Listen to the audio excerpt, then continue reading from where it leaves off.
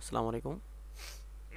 আজকে টিউটোরিয়াল হচ্ছে পঞ্চম শ্রেণির একটা সমস্যা, সেটা হচ্ছে গড় নির্ণয়। যে সমস্যাটা হচ্ছে, সেটা আমরা আলোচনা করব। পঞ্চম শ্রেণির গড় নির্ণয়ে এখানে আমরা একটি মাত্র সমস্যা প্রদান করছি। একটা অঙ্ক আমরা এখানে দিয়েছি সৃজনশীল আকারে। এই অঙ্কটা আমরা মানে এরকম আরও কয়েকটা মানে পার্ট আমরা প্রদান করব। আমাদের এখানে প্রশ্ন উল্লেখ করা হচ্ছে, সাতটি সংখ্যার গড় হচ্ছে টোয়েন্টি ফাইভ মানে পঁচিশ, এদের মধ্যে প্রথম তিনটি সংখ্যার গড় চব্বিশ ও শেষ তিনটি সংখ্যার গড় হচ্ছে তেইশ। আমাদের প্রশ্ন করা হচ্ছে কয়ে সাতটি সংখ্যার যোগফল কত? ক্ষয়ে প্রশ্ন করা হচ্ছে, প্রথম তিনটি সংখ্যার যোগফল কত? গয়ে প্রশ্ন করা হচ্ছে, শেষ তিনটি সংখ্যার যোগফল কত? এবং ঘয়ে প্রথম ও শেষ ছয়টি সংখ্যার যোগফল কত? এবং সর্বশেষ প্রশ্ন করা হচ্ছে, চতুর্থ সংখ্যাটি কত? এই প্রত্যেকটি প্রশ্নের যথাযথ উত্তর প্রদানের ক্ষেত্রে আমাদের প্রথমেই আমাদের এই প্রশ্নগুলো লিখে নিতে হবে।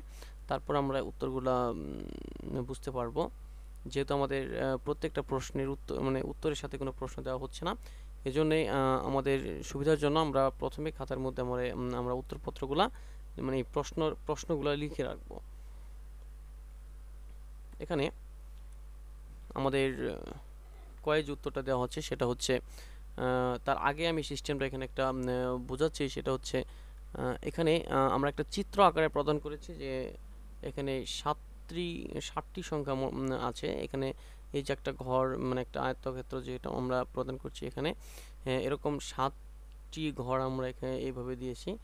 দেওয়ার পরে আমরা এটা শর্টকাটভাবে মানে যেটা আমরা বুঝি সেটা হচ্ছে এরকম ষাটটি সংখ্যা, এগুলো হচ্ছে এক একটা সংখ্যা। আমরা মনে করে নিলাম এগুলো এক একটা সংখ্যা। এই প্রত্যেকটি সংখ্যা, এখানে কয়টি সংখ্যা আছে? সাতটি ষাটটি সংখ্যার অ্যাভারেজে গড়ে আমাদের হচ্ছে পঁচিশ ষাটটি সংখ্যার গড়। এখানে এই ষাটটি সংখ্যার গড় হচ্ছে পঁচিশ। আমাদের বের করতে হবে ষাটটি সংখ্যার মোট কত, যোগফল কত।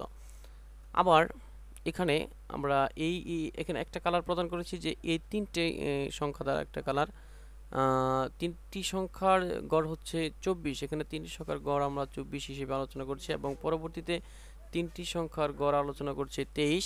এবং প্রশ্ন করা হয়েছে যে এই চতুর্থ সংখ্যাটি কত? আমাদের এখানে বের করতে হবে চতুর্থ সংখ্যাটি কিন্তু আমরা দেইনি। তাহলে আমাদের এই চতুর্থ সংখ্যাটি বের করতে হবে।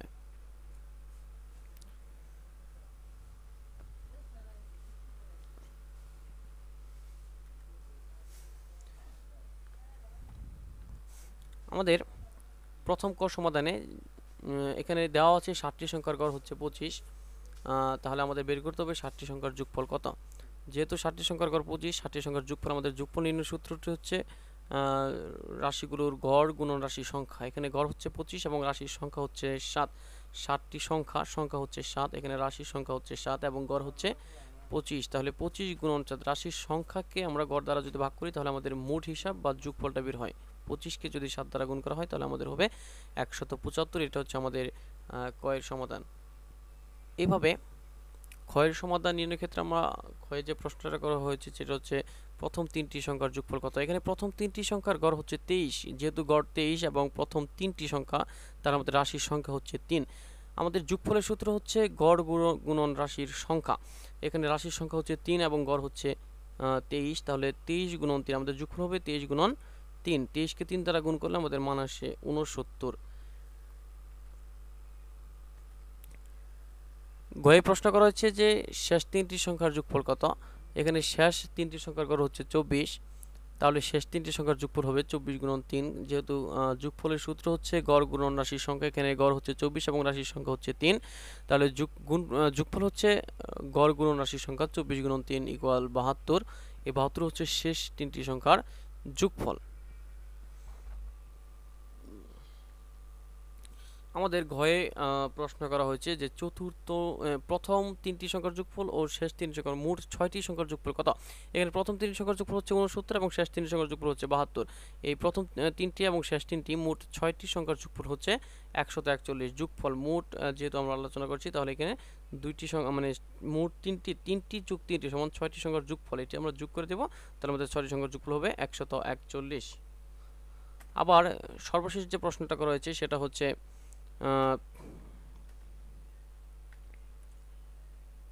চতুর্থ সংখ্যাটি কত? এখানে সাতটি সংখ্যার যোগফল এখানে আমরা প্রথমে দেখেছি একশো পঁচাত্তর, আমাদের কনক কনং প্রশ্নে বা কনক প্রশ্নে যে উত্তরটা দেওয়া আছে সেখানে আমরা বের করেছি ষাটটি সংখ্যার যোগফল হচ্ছে একশো পঁচাত্তর এবং ঘনং প্রশ্নে আমরা বের করেছি, প্রথম ও শেষ মোট ছয়টি সংখ্যার যোগফল হচ্ছে একশো একচল্লিশ। তাহলে ষাটটি সংখ্যার যোগফল থেকে যদি আমরা ছয়টি সংখ্যা বাদ দিই, তাহলে আমাদের একটি সংখ্যা কিন্তু এখানে থাকে, আর একটি সংখ্যা হচ্ছে আমাদের চতুর্থ সংখ্যা। এই চতুর্থতম সংখ্যাটি হচ্ছে ষাটটি সংখ্যার যোগফল থেকে যখন আমরা ছয়টি সংখ্যার যোগফল আমরা বাদ দেবো, তাহলে যে সংখ্যাটি পাওয়া যায় সেটা হচ্ছে আমাদের চতুর্থ সংখ্যা, এটা হচ্ছে আমাদের উত্তর। তাহলে আজকে আজকের টিউটোরিয়াল থাকছে এ পর্যন্ত সবাই ভালো থাকুন।